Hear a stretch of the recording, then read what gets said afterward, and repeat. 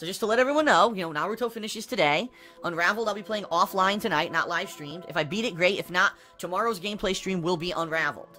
Now, let's say I beat Unraveled quickly tomorrow. Like, let's say I play it on stream tomorrow, and I beat it within an hour and a half. Good, because I need some time to be working on all these projects. In fact, tomorrow night, uh, I, I'm going to be putting together and, and hopefully releasing Hits of the Week, which is my weekly best of montage series where I take the best moments, the worst moments, the most notable moments from all the Raw gameplay of the week, and I try to compile them into a, a, a montage for DSP Gaming.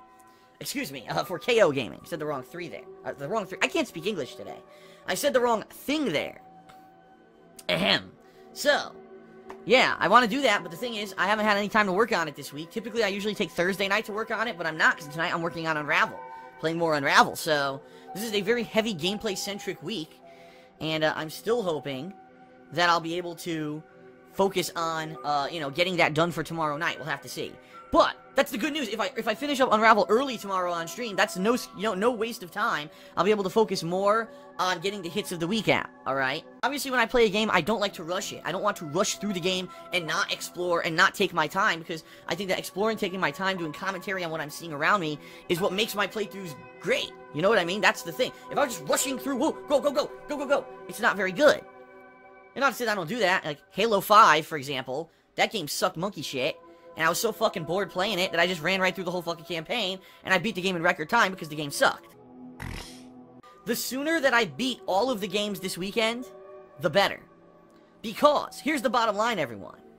I want to review all these games. I would like to do a, a full-on review of Naruto Shippuden Ultimate Ninja Storm 4. I'd maybe like to do a more abridged review of Unravel because it is a more simplified game and it doesn't really need as long of a review as a game like Naruto does. And I'd also like to review Firewatch. The problem is, if I'm really embroiled, uh, em embroiled, what the hell is that? Is that even a word? Embroiled? uh, I want to say embroiled or let me let me use a word that people actually speak in the English language. If I'm so busy with all this gameplay all weekend and I don't finish all these games until sometime Monday, I'm not going to have an opportunity to review any of the games. Because as I've said, Tuesday Street Fighter V comes out, and this whole week coming up is going to be Street Fighter V Mania. I'm going to be playing multiple streams of Street Fighter V, probably for a couple days, and then later on in the week, I'm going to focus in on, you know, the best of stuff of the week when it comes to Street Fighter V.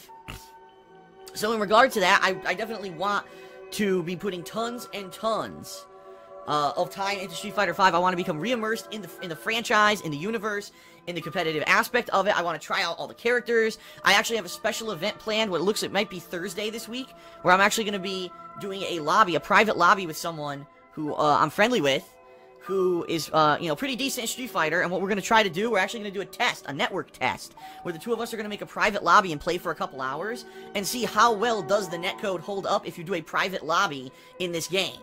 so it's going to be very interesting. A very interesting week. Not only will we be trying out the gameplay, trying out the modes, but also testing the network, like everything. So that by the end of the week, I could do a full-fledged review of Street Fighter V, and give you a full perspective on what I think about the game. I appreciate all of you who have been coming out every single day for the streams. And three days straight, you know, Naruto streaming here. And the past two days, the stream attendance has been excellent. And I want to say thank you for that. That's awesome that people are enjoying, you know, a new game as much as I am. And they're coming out every day to check it out. That's an awesome feeling. It is. It means that you guys appreciate the fact that I'm checking out the new games. You like my style of coverage and you want to see it daily. I really like that.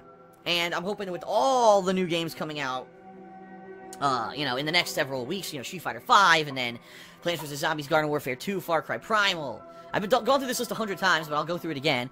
Uh, Zelda Twilight Princess HD, Hitman, UFC 2, MLB, and then, of course, in April, the insane amount of gaming overload between games like Quantum Break and Homefront, Dark Souls 3, and uh, the new Star Fox and Uncharted 4. It's going to be crazy.